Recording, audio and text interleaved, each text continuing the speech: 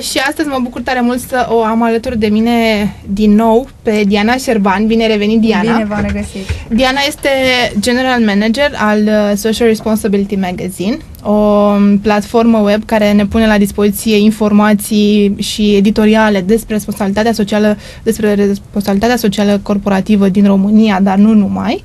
Uh, și este și inițiatoarea um, sau fondatoarea, cred că mai degrabă, al comunității Social Link, despre care am vorbit și în emisiunea trecută. Diana, în primul rând, hai să le reamintim celor care ne ascultă sau celor care sunt acum pentru prima dată alături de noi uh, ce, uh, care sunt inițiativele tale, cele pe care le-am numit eu și care este specificul fiecăreia dintre ele. Ok.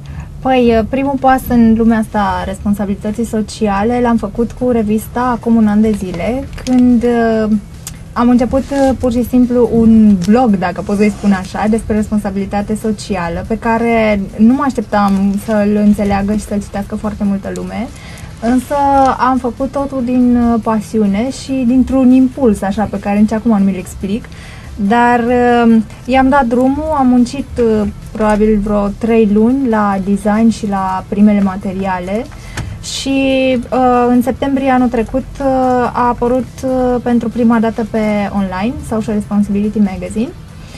Uh, după care am început să primesc tot felul de mesaje din partea companiilor pe care am considerat necesar să le anunț că există un astfel de proiect și foarte mulți uh, colegi din companie au fost încântați să, să afle despre el și să-mi trimită informații despre proiectele lor. După care, uh, văzând că proiectul crește, m-am gândit uh, că ar trebui să-l fac cumva și sustenabil. Și m-am gândit uh, că ar trebui să dau publicitate, dar mi-am zis că mai toate proiectele online dau publicitate și n-are rost să fac și eu același lucru și ar trebui să fac ceva cu care să mă evidențiez. Și atunci mi-am zis că ar trebui să prind uh, toți uh, furnizorii de publicitate și să-i aduc într-un loc unde se întâlnească fizic și să se cunoască între ei, să-și cunoască proiectele și să le dezvolte împreună. Și așa a apărut uh, ideea de Social Link, care se vrea fi comunitatea oamenilor responsabili sociali din România. Ea merge, practic, este o coborâre în offline a revistei, este proiectul de responsabilitate socială al revistei Social Responsibility Magazine. Și aici vin uh, același gen de oameni care sunt prezenți și în revistă, și anume politicieni, corporatiști și ONG-iști, oameni care în activitatea lor de zi cu zi uh, se concentrează asupra unor uh, probleme care țin de responsabilitatea socială, fie că vorbim de legi, fie că vorbim de proiecte din mediul privat sau de proiecte care vizează sectorul non-profit. Spuneai că deja aveți uh, un an de existență. Da. Spune-ne, te rog, um, care a fost uh, atmosfera și care a fost feedback-ul pe care l-ai primit în acest ultim an din, uh, și din partea invitaților, pentru că, așa cum ne povestea de trecut, există câte un invitat la fiecare întâlnire a comunității, dar și din partea celor care au participat, cum, uh, cum au fost, cum, uh, sau, cum, au de, cum s-au derulat lucrurile. Um, aș începe cu un feedback pe care l-am primit pentru o campanie nouă pe care o desfășor acum. Uh, tu știi despre ce e vorba, omul care îți face viitorul. Uh, Uh, iarăși e o campanie care, uh, cum să, ideea mi-a venit instinctiv. Și anume am văzut că există tot felul de uh, articole despre profesioniștii de CSR de la noi, dar uh, n-am văzut nici măcar un articol în care ei să fie tratați ca ceea ce sunt ei în definitiv, adică oameni. Și m-am gândit că ar trebui să descoperim cine sunt oamenii din spatele profesioniștilor. Uh, ce valori îi ghidează în viață și de ce vor ei să ne facă nouă un bine. Că, practic, prin proiectele pe care le desfășoară, uh, nu fac un bine doar pentru compania în care lucrează, ci ne fac nouă tuturor un bine. Și uh, așa mi-a venit ideea să îi dau numele campaniei Omul care îți face viitorul, uh, mai ales pentru cei care vor veni după noi. Practic, ei lucrează pentru generațiile viitoare și atunci am zis că uh, poate generațiile viitoare nu vor mai avea cui să mulțumească și că ar fi bine noi să le mulțumim, să le strângem mâna acum, uh, să-i apreciem pentru ceea ce fac și să vedem și altă latură a lor în afară de cea strict profesională. Uh, în ceea ce privește comunitatea, am primit uh, încă de la primul uh, eveniment un feedback pozitiv, în sensul că toți cei care au participat mi-au mulțumit pentru inițiativă. Chiar și în timpul evenimentului mi-aduc aminte că a fost invitat domnul profesor Dumitru Borsun, și uh, îmi spunea, spunea chiar în discursul dumnealui din timpul evenimentului că mulțumește foarte mult că, pentru că i-am dat ocazia să se întâlnească cu genul acesta de oameni. Știu că la primul eveniment a fost și Mihai Sturzu și s-a uh, născut acolo o discuție foarte aprinsă pe marginea uh, celor spuse de domnul profesor.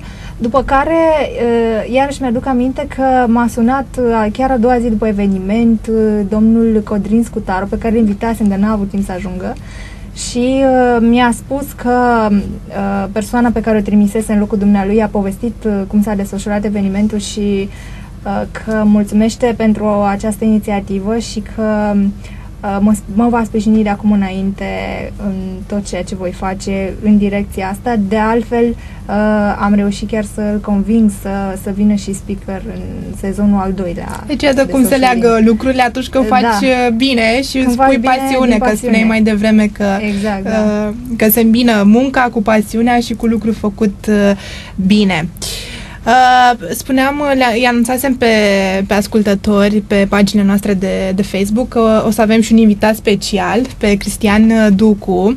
Uh, el o să intre în direct uh, prin telefon cu noi uh, și îl avem invitat cu această ocazie pentru că el este primul speaker din uh, noul sezon Social Link uh, și doar o să te rog pe tine, uh, Diana, ca să-i facem așa o mică introducere lui Cristi, uh, să ne spui uh, care va fi tema de, de la această primă ediție și când va avea loc. Bun, deci primul eveniment din sezonul al doilea are loc pe 30 uh, septembrie, adică săptămâna viitoare marți, începând cu ora 19 la Hotel Novotel. De altfel, toate evenimentele se vor desfășura acolo și vor avea loc o dată pe lună. Uh, tema pe care o va aborda Cristi de data aceasta, pentru că el e prezent pentru a doua oară în eveniment, uh, se referă la cum măsori impactul social al unei organizații. Practic, uh, ce câștigi dacă ești etic Uh, cam despre asta va fi vorba. Îl aștept cu mare drag. El s-a alăturat și a fost, uh, cum să spun, uh, a fost încântat de, de ideea Social Link uh, chiar de prima dată când i-am povestit. Așa că um, respectul meu pentru el este unul deosebit. Și doar o să menționez și eu câteva aspecte așa mai tehnice despre Cristi. Uh, el este doctor magna cum laude în filozofie morală în cadrul Facultății de Filozofie a Universității din București și este și membru fondator al uh, Center for Advanced Research in Management and Applied Ethics și experiența lui în domeniul consultanței de management, uh, audit non-financiar și training este de peste 10 ani. Și mărturisesc și eu că um, am participat la ediția la care a fost și Cristi uh, și l-am mai văzut și cu alte ocazii, ca să zic așa, și întotdeauna am plecat uh, cu lucruri învățate, adică chiar dacă și eu știam ceva pe subiect, a fost imposibil să nu plec cu, cu ceva nou de acolo. Dragilor, uh, vă invit pe paginile noastre de Facebook, pe uh, Radio Links uh, România și pe Social Responsibility Magazine. Am zis bine? Sigur. Așa. Să ne dați like, să comentați. Noi o să luăm o scurtă pauză și imediat după aceea o să-l avem pe Cristi în direct cu noi, care ne va da câteva detalii despre întâlnirea de, de pe 30 septembrie și uh, voi aveți răgaz să căutați și să citiți dacă sunteți foarte curioși în avans despre eveniment, dacă intrați pe Social Responsibility Magazine, pe, fie pe Facebook, fie pe, pe pagina lor de pe web, website-ul lor. Am uh, revenit în studio și așa cum uh, vă anunțam uh, ceva mai devreme, ne bucurăm tare mult să-l avem în direct prin telefon pe noi pe Cristian Ducu. Bine ai venit, Cristine, auzi? Da, bună seara, ne-am găsit. Uh, ne pare tare bine să te avem alături de noi, mai ales că tu ești primul speaker invitat al uh, noului sezon uh, Social Link, iar tema este cât se poate de interesantă, cum măsurăm impactul social al organizațiilor. Așadar, ca să, să atragem pe cei care ne ascultă, bineînțeles că prima mea întrebare va fi care sunt două, trei idei esențiale pe care tu le vei uh, aduce în fața celor care vor fi la, la eveniment? Da, în primul rând aș începe cu mulțumiri uh, Dianei Șerban pentru că mi-a oferit această ocazie. Uh, eu încerc să vorbesc uh, cât se poate de direct despre ce înseamnă impact social și cum își poate măsura o organizație acest tip de impact. O să încerc să fac legătura cu ideea de sustenabilitate, însă aici circulă foarte multe păreri și cred că la ora actuală ne aflăm în fața unui fel de inginerizare uh, a domeniului sustenabilității și în mod special am idei de măsurare a impactului social. Adică prea mulți oameni încearcă să privească impactul social ca o chestiune de șubler. Hai să punem șubler și să vedem ce se întâmplă. Eu o să încerc să fac exact pe de și am să arăt de cât de multe lucruri depind de impactul social. Și o să încerc să le arăt oamenilor că impactul social nu înseamnă doar uh, uh, efectele pe care o organizație le are asupra propriilor angajați, cât și efectele pe care le are respectiva organizație la nivel de comunitate uh, și nu neapărat asupra celor care uh, reprezintă familiile uh, angajaților sau sunt uh, într-un fel sau altul uh, preocupați de ce se întâmplă la nivelul, la nivelul acelei organizații. O să arăt de oamenilor ce înseamnă acest impact social la nivelul unei școli dintr-o comunitate. Fiindcă foarte multe cazuri, și asta este experiența mea directă în, în lumea reală, uh, foarte multe cazuri se întâmplă ca uh, aceste unde uh, să se propage mult mai departe de ceea ce numim în mod clasic stakeholderii organizației.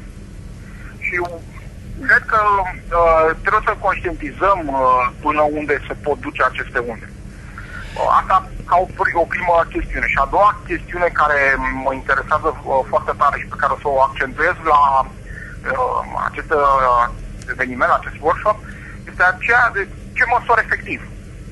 Mi-ai uh, anticipat întrebarea, Cristian, să știi. Am înțeles. Da, uh, foarte multă lume se întreabă la ce mă uit, la, ok, un impact social, mă, mă uit la efecte, dar care sunt alea? Uh, e o chestiune de uh, bani, e o chestiune de cum trăiesc uh, acei oameni din, din comunitate sau e o chestiune de uh, nivel de trai în ansamblu. Adică mult mai mult decât uh, bani efectivi. E vorba și de uh, accesul la educație, e vorba și de accesul la servicii medicale, de foarte multe astfel de lucruri.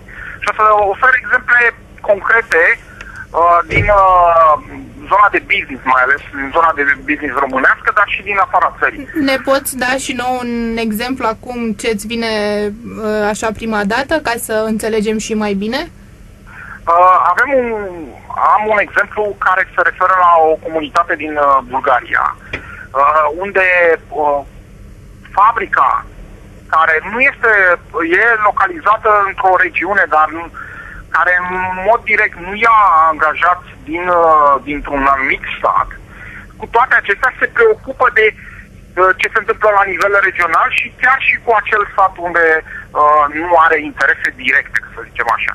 Și uh, preocuparea aceasta vine din perspectiva, uh, hai să zicem așa, de uh, apărare, pentru că vor să și măsuri de protejare a reputației, fiindcă s-ar putea trezi mâine că cineva îi acuză că nu se interesează mai mult. Realist, asta se întâmplă în realitate. În uh, discursul public, măsurarea impactului la acea uh, comunitate se referă la o chestiune foarte simplă, și anume cum trăiesc oamenii de acolo, la acest nivel de trai. Și uh, asta, asta spune organizația, spune reprezentantul fabricii în public. Acum, Astea sunt uh, cele două fațete dinspre organizație. Ce se întâmplă efectiv în practică? Există această zonă de audit social și vine expertul și spre deosebire de ce vrea fabrica, el se uită la foarte multe aspecte, inclusiv la uh, problema sărăciei. Care este nivelul de sărăcie? Uh, se uită uh, dincolo de asta la absența unor uh, chestiuni, cum spuneam mai devreme, legate de uh, sănătate, de, de serviciile medicale. Se uită la accesul la uh, serviciile medicale de urgență. Căci în cazul în care uh, fabrica respectivă se întâmplă să aibă o defecțiune și să uh, producă un uh, dezastru local, toți oamenii din jur vor fi afectați. Dar iarăși asta este în manieră defensivă. Și cred că de foarte multe ori problema în această manieră se pune. Hai să zicem așa, uh, hai să vedem cum ne protejăm noi în fața unor posibile situații neplăcute. Din păcate, foarte puțini sunt cei care se interesează de măsurarea impactului social ca o chestiune de strategie de business, ca parte, hai să zicem, integrantă din propriile lor uh, acțiuni de business. Și aș interveni, scuză-mă, Cristi, că te întrerupt, ca parte de risk management. Adică... Exact, exact. Mulți nu o văd ca parte de risk management, deși este parte de risk management. Uh, pentru că foarte mulți privesc și acest risk management într-o, într-o manieră reducționistă.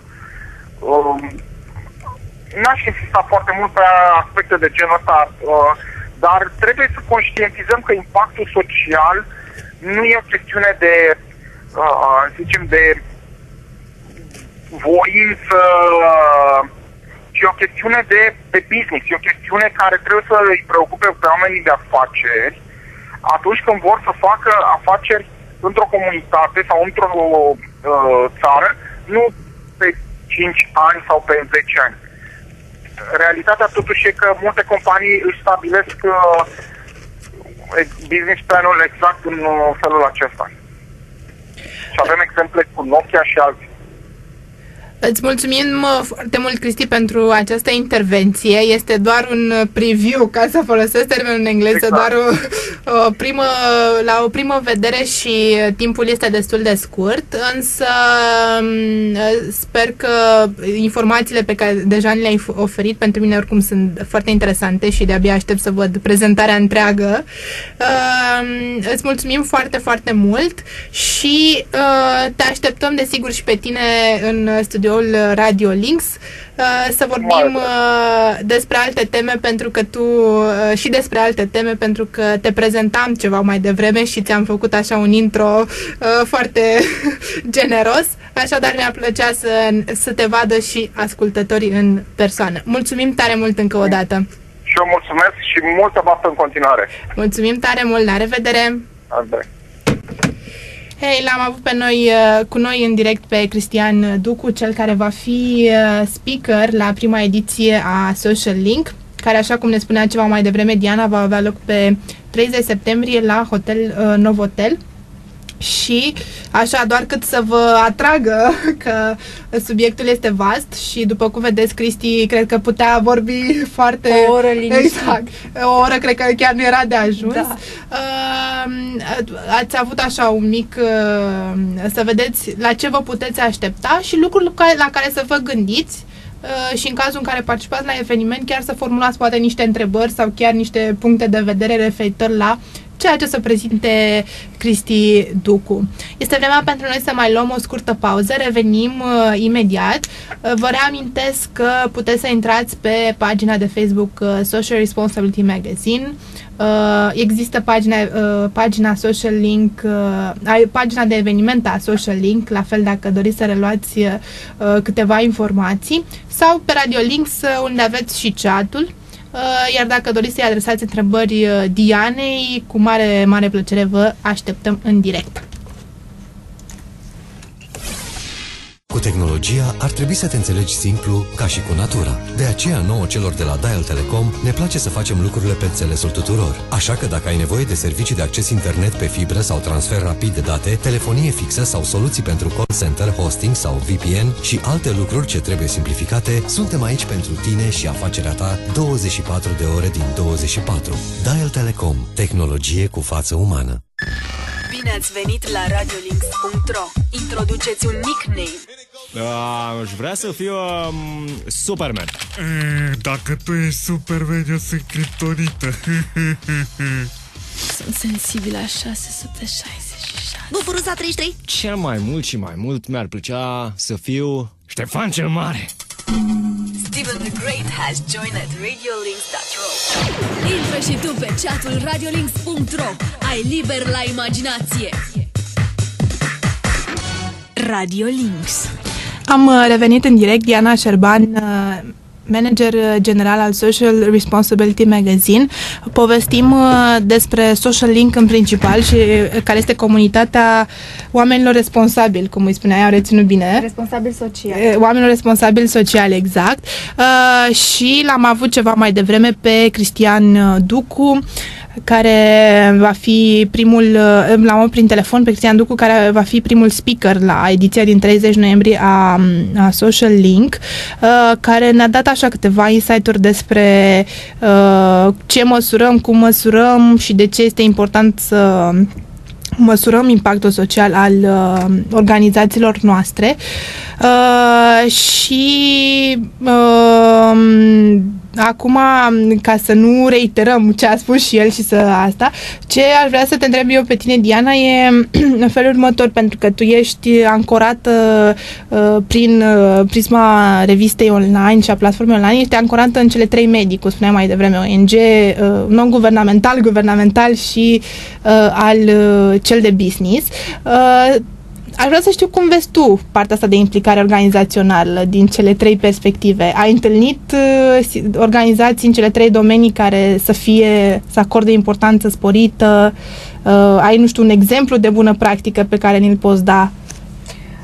Um, am întâlnit organizații din toate domeniile, din cele trei sectoare, care se implică într-adevăr în societate. Din păcate, un exemplu de bună practică um, în mediul politic nu am, deocamdată, pentru că la noi, uh, din câte știți și voi, uh, se pune foarte mult accentul pe satisfacerea unor nevoi uh, care nu mai suportă amânare și mai puțin pe prevenție.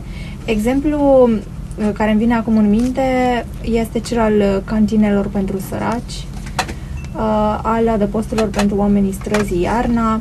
Practic, noi încercăm să rezolvăm uh, ușor niște probleme care ne apasă de mm, chiar foarte mult timp, în loc să încercăm să găsim niște măsuri care să prevină. Uh, Chiar acum câteva mm, zile uh, stăteam de vorbă cu uh, cineva care îmi spunea că ne lipsește foarte mult gândirea pe termen lung și atitudinea neumilitoare față de cei care au nevoie de ajutorul nostru. Deci dacă ar fi să reproșești ceva organizațiilor politice, asta ar fi, că nu gândesc pe termen lung și că nu găsesc soluții uh, prin care să prevină asemenea probleme și nu să le rezolve pe ultima sută de metri. Uh, în mediul corporate știm cu toții că deja uh, companiile multinaționale uh, sunt uh, într-un fel pe direcția cea bună, mai ales uh, cele care primesc uh, linii directoare de la compania mamă din uh, afara țării. Um, mi-ar plăcea să văd uh, pe viitor mai mulți antreprenori, mai mulți uh, români care au afaceri aici, care se implică social, pentru că ideea de implicare socială și de responsabilitate socială nu ține doar de corporații. La noi, și am avut, uh, am mai dat exemplul ăsta, am avut uh, experiența în anii trecuți să vorbesc cu un antreprenor uh, destul de cunoscut, nu o să-i dau numele acum, uh, care mi-a spus că responsabilitatea socială este doar pentru corporații. Vom vedea, nu vreau să fac previziuni, dar uh, responsabilitatea socială este pentru toți cei care obțin într-un fel sau altul profit în comunitatea în care trăim și noi. În momentul în care uh, obții ceva cu ajutorul meu, mi-ar plăcea să știu că îmi întorci uh, acest serviciu rezolvând o problemă pe care poate eu nu uh, sunt în stare să o rezolv și punând la loc o resursă pe care mi-ai luat-o. Mai vrei să adaugi ceva? Ah, ok. Uh, pentru că mă uit la chat și mai avem uh, destul de puțină vreme din uh, emisiunea noastră de astăzi. Vă reamintesc că dacă aveți întrebări pentru Diana, uh, le puteți adresa prin intermediul chatului de la noi de pe Facebook sau de la noi de pe site uh, și o puteți întreba despre responsabilitate socială sau despre uh, eveniment sau despre Social Responsibility Magazine. Uh, orice din aceste zone uh, sunt sigură că o să vă răspundă cu mare plăcere. Um, aș vrea să te întreb, revenind la evenimentul uh, uh, de marți, care este primul, Um, nu va fi și singurul, de altfel, din, Sperăm. exact, din acest uh, nou sezon. Așadar, uh, o să te rog să ne spui uh, ce ne pregătești după această primă ediție. Da, uh, aș vrea să fac o, o paranteză mică, mică înainte și să spun că organizarea acestui set de evenimente, practic uh, Social Link va avea sezonul acesta 8 evenimente începând din septembrie până în uh, iunie 2015. Uh, organizarea acestor evenimente și punerea la punct a tuturor detaliilor în ceea ce privește locul în care se va desfășura, tema abordată, dar și uh, speakerul care va vorbi a fost uh, un exercițiu pentru mine. Mă bucur tare mult că am reușit să rezolv uh, de uh, gândire și determinare a altor oameni să-și asume responsabilitatea pe termen lung. Și vreau să spun că am avut, într-adevăr, pe cineva care a refuzat să vină la, la un eveniment din uh, mai, dacă nu mă înșel, 2015, pentru că mi-a spus că nu poate să-mi promită de acum că va fi prezent la evenimentul respectiv. Și am spus, uh, păi, uh, tocmai despre asta e vorba la acest eveniment. Dar, uh, în rest, iată, sunt opt oameni care au acceptat încă din luna august 2014 să participe chiar și la, la evenimente din uh, iunie 2015. Astfel, uh, vor fi oameni din toate cele trei medii. Uh, ca să vă dau un exemplu, după Crisi Ducu, în octombrie, pe 29, va fi speaker Costinela Drăgan de la KMG International, fostul Rompetrol Group. După care, pe 12 noiembrie, va fi prezentă prințesa Marina Sturza. Și începând din februarie, în decembrie și ianuarie vom avea pauză. Din februarie va fi uh, Varga Enayati, uh, fondator Regina Maria, după care Ștefan de Răbuș de la Hope and Homes for Children, va fi Nicoleta Deliu de la BCR și, nu în ultimul rând, Codrin Scutaru, uh, care este secretar de stat în uh, Ministerul Muncii. Și câteva întrebări așa logistice ca să le reamintim și să le readucem amint, să le să se întipărească foarte bine. Către cine este deschis acest eveniment? Cine poate participa?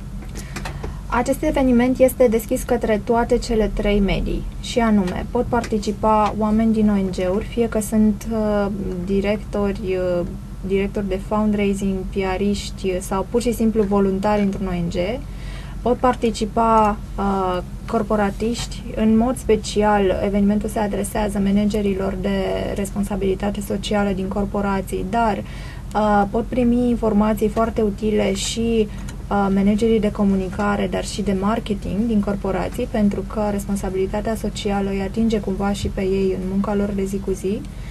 Și nu în ultimul rând pot participa politicieni. Uh, mărturisesc că um, mi-ar plăcea să pun accentul pe politicieni tineri, pentru că, așa cum îți spuneam mai devreme, acesta este și pentru mine un exercițiu de dezvoltare durabilă și mi-ar plăcea ca politicienii de mâine să plece la drum cu niște idei sănătoase în ceea ce privește dezvoltarea pe termen lung în țări în care vom trăi cu toții de acum înainte. Iată că am ajuns la finele emisiunii. Fix despre ce vorbeam, că o să treacă foarte repede. Uh, îți mulțumesc foarte mult, Diana. Și eu îți mulțumesc. Și ca o surpriză așa pentru cei care ne ascultă, o să ne mai reîntâlnim cu tine. uh, o să încercăm să ne vedem uh, ori de câte ori se va desfășura un nou eveniment Social Link, ca să putem uh, afla mai multe și despre tema în sine și despre invitat.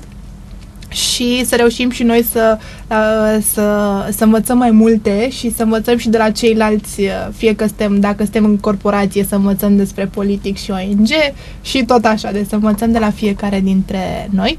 Așadar, de-abia aștept să ne revedem, Diana.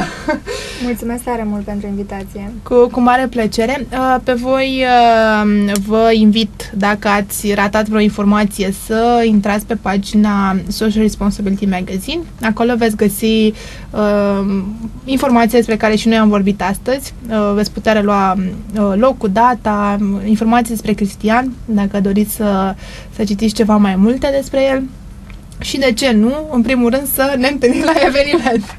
Că dincolo de ceea ce vorbim în on- online, trebuie să aibă o, să se reflecte și în mediul offline, așa cum spunea și Diana mai devreme. Asta a fost tot pentru ziua de astăzi. Eu vă mulțumesc foarte mult că ați fost astăzi alături de noi și vă aștept și săptămâna viitoare la o nouă ediție Lume Bună. Până atunci, o săptămână cât mai bună să aveți. Steliana Moraru sunt. La revedere!